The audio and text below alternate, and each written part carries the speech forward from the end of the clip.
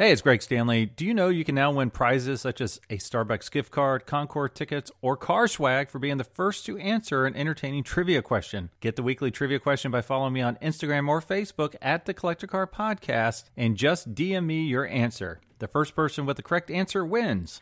Also, as a new aspect of my automotive passion and hobby, I am a car specialist consultant for RM Sotheby's. If you need assistance consigning a collector car at Amelia Island, Pebble Beach, Auburn, West Palm, or Hershey, email me directly at gstanley at rmsotheby's.com.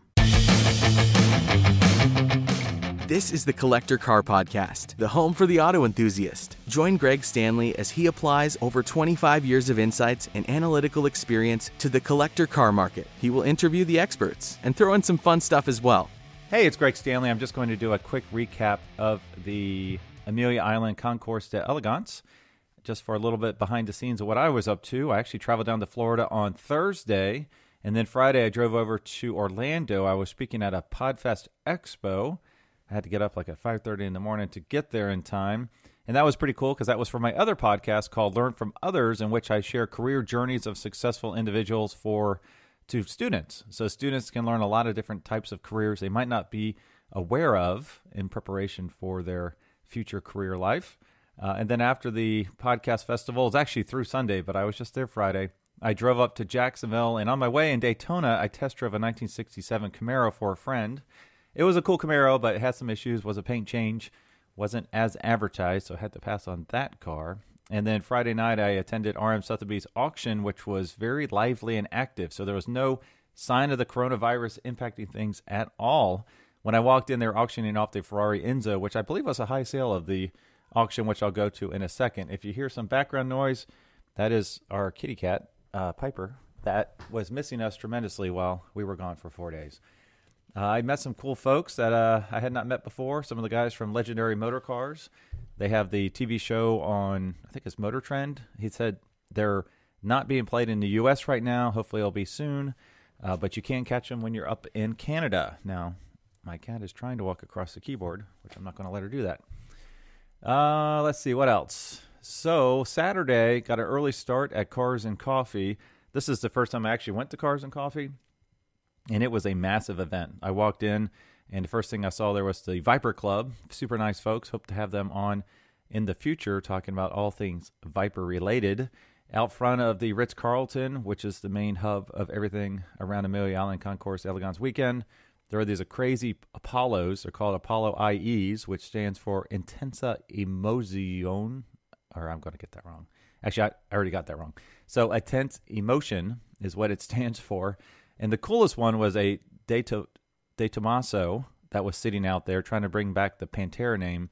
And it was gorgeous. It was a light blue. It had a glass canopy with white stitched interior. I don't know how comfortable that would be because there was no like roof per se. It was all a glass canopy, but it was absolutely gorgeous. The pretty prettiest car out there. And you can check the links to all these on my blog when it's posted at the collectorcarpodcast.com. Other notable cars that were on the show field for Saturday and on Sunday.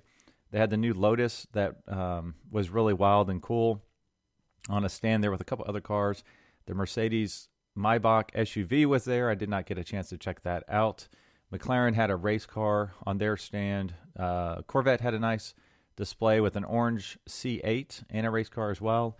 And the Revology folks right out front had a couple Shelbys. So these were 1967 Shelby's. I think they, I can't remember what the second one was, but they had modern uh, 4.6 liter engines, modern drivetrain. I'm assuming the sticker is around 200 to 250. I didn't get a chance to see, but hopefully they will be future guests on the podcast as well. So now we're going to cover a few things from all the auctions that occurred. Uh, Gooding and Bonhams occurred prior on Thursday and Friday. Uh, so a few facts about the auction. This shows you that there really was not an effect from the coronavirus uh, comparing 2020 to 2019. So gross sales were up by 2 million. The number of cars not sold was down, went from 51 last year to 40 this year. Total number of cars was up. So there's 351 this year versus 338 last year. So more cars were there, less cars did not sell, and the total number of cars sold was up from uh, 287 to 311. So the average price of cars sold was down slightly uh, from two hundred and sixty-four thousand dollars last year to an average of two hundred and fifty thousand this year. And the average year of the car, which was this was interesting. This is all from K500. The average year of the car was up from 1965 to 1966. So the average age is going up. It didn't go up tremendously, just one year, but it's interesting to see that tracked. The percent of cars not sold, I'm sorry, the percent of cars sold at no reserve was up from 62% to 66%. And let's go by auction house. Bonhams had the most cars not sold with 26 of 36 and the average price of those cars was $183,000. Average price of the cars sold was $183,000. The average year of the cars offered at Bonhams was 1953, so they specialize in much older cars, which is actually 3 years newer than the previous year. Last year was 1950 was the average age of the cars. And they only sold 77.5% of their cars. Gooding was second with 6 cars not sold and an average price of the sold cars was $250,000. The average year of cars offered, this is interesting, was 1984, believe it or not. So they had a lot more of the new cars. This is where a lot of the BMWs we spoke about from two podcasts ago with Eric Keller, where they were sold, which drove this number up. And that was up from the average year uh, two years ago was 1979. So they went up five years in age on the average car. They sold 92.5% of their cars. And I'm not going to review all of them, but just to review some of the cars that uh, were sold, some of the BMWs that we talked about a couple weeks ago. Uh, the 2001 M Coupe sold for 52,000. The estimate was 50 to 70,000 dollars. The 88 M6 sold for 60, a little underestimate. It was 70 to 90 thousand dollars. The 2002 M5 sold for 56 thousand dollars. The estimate was 50 to 70K.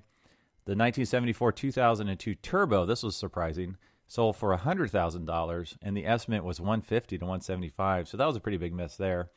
The M3 1988 sold for 100 grand, just hitting bottom estimate. The 2001 M Roadster sold for 33 grand. This is another surprise. The low estimate was 45 to 55k.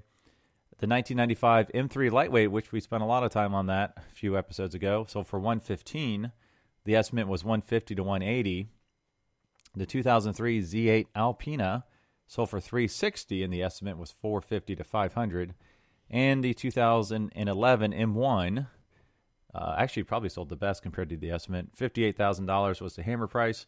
The auction estimate was 40 to 60 grand, so it hit closer to the high estimate. Now, one thing is, is if these cars are no reserve, the expectation is is that it will bring more because you have more people in the room bidding on this car, more eyes on the car. So typically the estimate's a little higher than maybe what the market price is. So just because it missed the estimate doesn't mean it wasn't a market correct price. So hopefully that makes sense. So now let's go to RM Sotheby's. So they only had four cars that were not sold, which was really amazing. And they achieved almost $36 million in sales, number one sales auction house for the weekend. Uh, so they had a really awesome time. Sell through rate was 94%, which was the highest of any of the three auction houses. The average year went down one year, went from 1966 to 1965.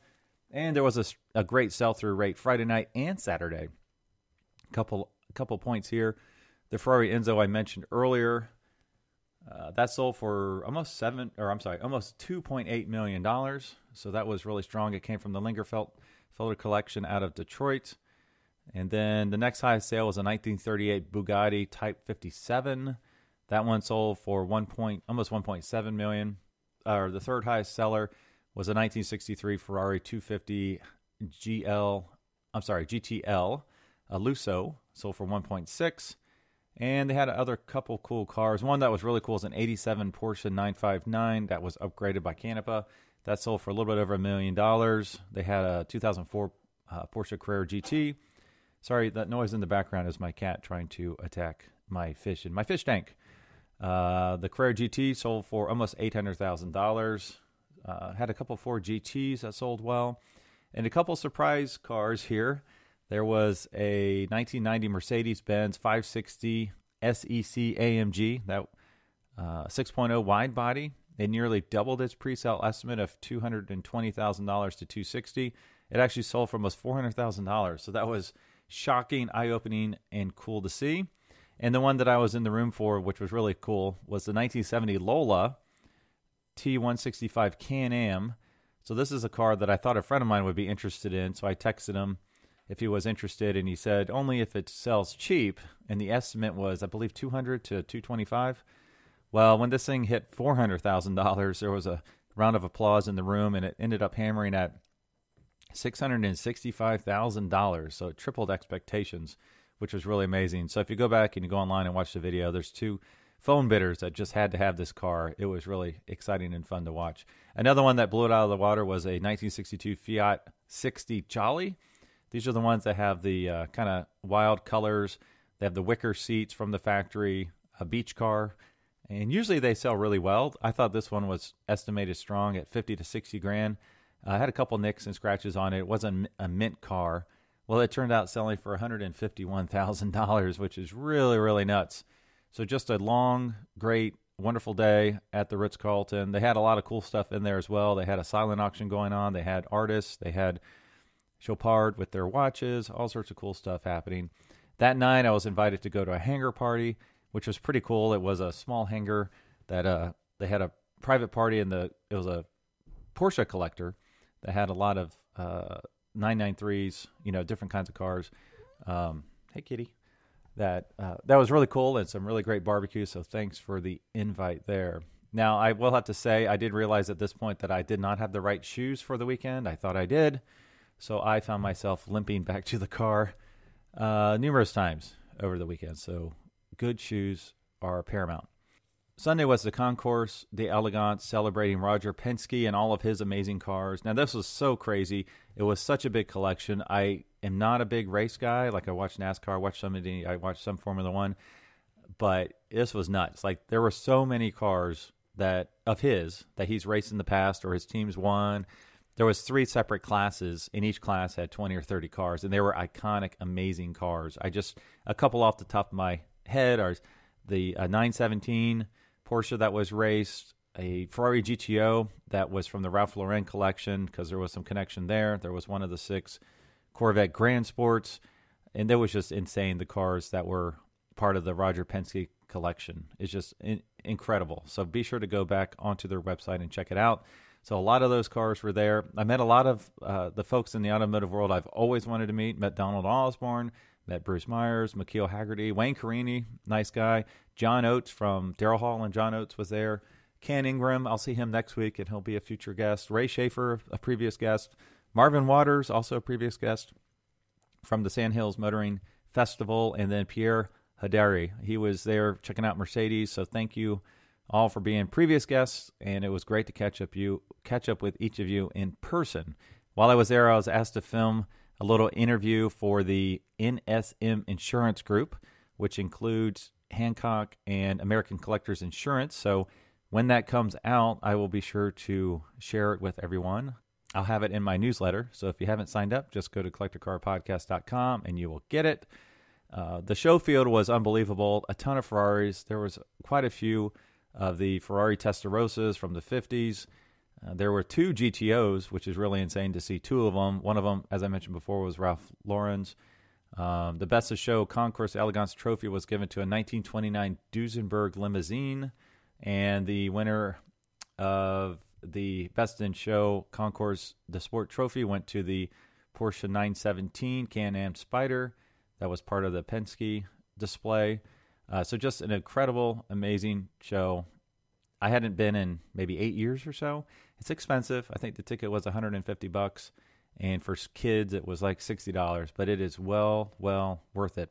As I mentioned before, I had the wrong shoes on, so the end of Sunday I found myself limping my way back to my car, which I couldn't find for a little while. So be sure you remember where you parked. so this is my brief review of Amelia. There'll be more coming in the future. But as always, keep your tires straight, your foot on the gas, and remember to wear good shoes at Amelia next year. I'll talk to all of you next week. Thanks for listening to the Collector Car Podcast. Don't forget to give us a nice rating on iTunes and be sure to follow us on Instagram and everywhere else at the Collector Car Podcast.